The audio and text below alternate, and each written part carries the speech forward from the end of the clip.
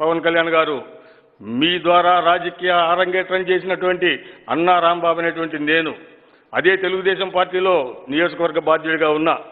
అధికార పార్టీ తెలుగుదేశం ఆ రోజు కానీ దాన్ని కూడా వ్యతిరేకించి ఈ ప్రజా తప్పుడు ప్రజలకు వ్యతిరేకమైనటువంటి విధానాలకి పాల్పడుతున్నందుకు చంద్రబాబు నాయుడు పార్టీకి తెలుగుదేశం పార్టీకి గుడ్ బై చెప్పి బయటకు వచ్చి న్యాయ వ్యవస్థలను దట్టి తద్వారా ఇరవై మూడు మంది పార్టీ ఫిరాయించిన శాసనసభ్యులకి కనీసం నోటీస్ ఇప్పించగలిగిన. కానీ మీరేం చేసినారండి? కనీసం ప్రశ్నించినారా? మీదొక వ్యవస్థ. కానీ నేను ఒక వ్యక్తిని ఒక వ్యక్తిగా ఎలాంటి పదవి లేకపోయినప్పటికీ కూడా ప్రశ్నించిన. దయచేసి దాటి గమనించండి. మనం మాట్లాడడం కాదు మాట్లాడేది వేరు ఆచరించేది వేరు అది గమనించాల్సిందిగా కోరుతా ఉన్నా. అలాగే మీరు మాట మాట్లాడితే భావసారూప్యం అలాగే సమ సమాజం ప్రపంచంలో ఉన్నటువంటి దేశంలో ఉన్నటువంటి రాష్ట్రంలో ఉన్నటువంటి ఎందరో పెద్ద పెద్ద మహానుభావుల పేర్లన్నీ ఉచ్చరిస్తూ ఉంటారు. ఆ పుస్తకాలన్నీ నేను చదివినానంటారు.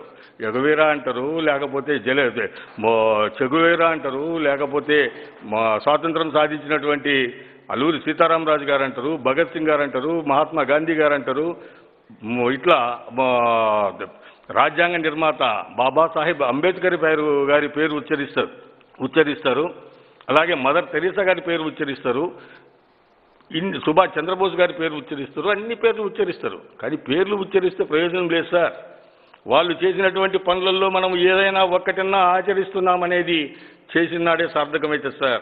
ఊరికే మనం పే- చెట్టు పేరు చెప్పి కాయలు అమ్ముకుంటే ప్రయోజనం లే. ఇవన్నీ మేము పుస్తకాలు చదువుతాం. ఎన్ని చేస్తామంటే ప్రయోజనం ఏముంది సార్? ఊరికే చెప్పొచ్చు మాటలు. మాటలు చెప్పడం కాదు.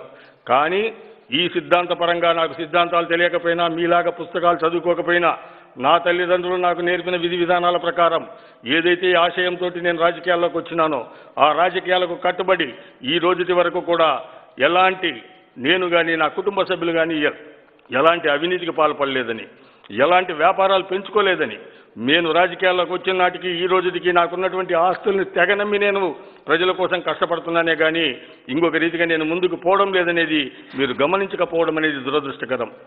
మీరు పేర్లు చెప్పుకుంటే ప్రయోజనం లేదు. దానికి తగ్గట్టుగా నడవడం అనేది కూడా నేర్చుకోండి సార్ అని చెప్పి విజ్ఞప్తి చేస్తూ ఉన్నా. అలాగే ఇంకొకటి కూడా మేము మీకు విజ్ఞప్తి చేస్తూ ఉన్నాను సార్. మీ సమావేశాలకి లేదా మీ మీటింగ్లకి యువత చదువుకునేటువంటి యువతి యువకులు ఎందరో మీ ఫ్యాన్స్ అందరూ వస్తూ ఉన్నారు. వాళ్ళందరూ కూడా భావి భారత పౌరులు రాబోయే రోజులకి. కానీ మీ విధానాలు చూసి మీ మాటలు చూసి వాళ్ళు ఇదే జీవితమేమో అనేటువంటి భావనతోటి వాళ్ళు తప్పుదారి బట్టి వాళ్ళ జీవితాలు పాటు చేసుకోకుండా వాళ్ళని కాపాడండి చాలు ముందు. అంతేగాని మీరేదో మీ ఫ్యాన్స్ ఉన్నారు ఇంకొకరు ఉన్నారని చెప్పేసి మీ మాటల ద్వారా వారి జీవితాల్ని పాడు చేయొద్దని చెప్పేసి కూడా మీకు విజ్ఞప్తి చేస్తూ ఉన్నాను సార్. అలాగే మీరు మీ పార్టీకి చెందినటువంటి నాయకులు మీ పార్టీకి గిద్దలూరు నియోజకవర్గ బాధ్యుడిగా ఉన్నాను అని చెప్పుకుంటున్నటువంటి బెల్లంకొండ సాయిబాబా గారు ఏం మాట్లాడుతున్నారు సార్? మీరేం మాట్లాడినారు సార్? మీరు మాట్లాడిన దాంట్లో అన్నారాంబాబు నీకు పతనం మొదలైంది. అన్నారాంబాబు అంత పాతాళానికి నిన్ను తొక్కేస్తా. అన్నారాంబాబు వచ్చే అసెంబ్లీ ఎన్నికల్లో నిన్ను అసెంబ్లీకి పంపి పోనీయకుండా చూస్తా. తలలు తెగిపడతాయి అని మీరు మాట్లాడతారు. మీ ఇన్ఛార్జ్ అని చెప్పుకునేటువంటి వ్యక్తి అన్నా రాంబాబు నియోజకవర్గంలో తిరిగితే గుడ్డలు ఊడదీసి కొడతామంటారు. ఇవే సార్ మీకు మీరు ఎన్ని పెద్ద పెద్ద పెద్ద మహానుభావుల దగ్గర నుంచి తెలుసుకునింది నేర్చుకునింది? ఎందుకా సార్ మీరు రాజకీయాల్లోకి వచ్చింది? మా గుడ్డలు కూడా తీసుకొట్టించేదానికి మమ్మల్ని అందపాతాలానికి తొక్కేదానికి వ్యక్తిగతంగా దూషించేదానికా సార్ మీరు వచ్చింది? ఒక్కసారి ఆలోచన చేసుకోండి. మీకు ఒక్క సీట్ ఇస్తేనే ఇంత అరాచకంగా మాట్లాడుతున్నారే? మా నాయకుడు జగన్మోహన్ రెడ్డి గారు లాగా వైఎస్ఆర్ కాంగ్రెస్ పార్టీకి ఇచ్చినటువంటి నూట యాభై ఒక్క సీట్లు ఇస్తే మీరు ఎవరినన్నా ప్రజలను బతకనిస్తారా సార్? అసలు ప్రజల మనుగడన ఏమన్నా ఉంటుందా సార్?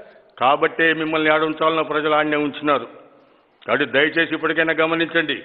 జగన్మోహన్ రెడ్డి గారు నాయకుడు ఎట్టయినాడో చూసుకోండి.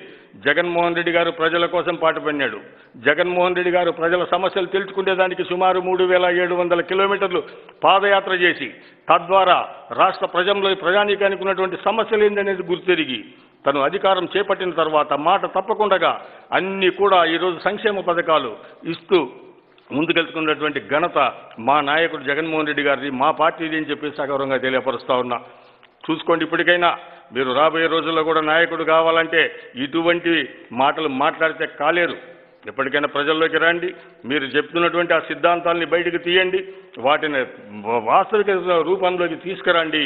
అప్పుడు మాత్రమే మీ మనుగడ అనేది సాగుతుంది లేకపోతే మీ మనుగడ ప్రశ్న ప్రశ్నార్థకం అవుతుంది అని చెప్పేసి కూడా మీకు తెలియపరుస్తా ఉన్నాను. అట్లనే శవరాజకీయాలు చేయడం కాదండి. శవరాజకీయాలు చేసి ఎవరిని మీరు నాశనం చేయాలనుకుంటున్నారు? ఏంది మీరు మాట్లాడే విధానం? దౌర్జన్యం మీరు చేసి మానేతనేస్తారు మీ ఇష్టానుసారం మీరు మాట్లాడి మమ్మల్ని మా- మమ్మల్ని తప్పుపడతారు. ఎంతవరకు న్యాయం అండి? ఆలోచన చేయండి. మీరు పెద్దవారు రాష్ట్ర స్థాయిలో ఉన్నటువంటి నాయకులు. కాబట్టి ఇటువంటి మర్చిపోండి సార్.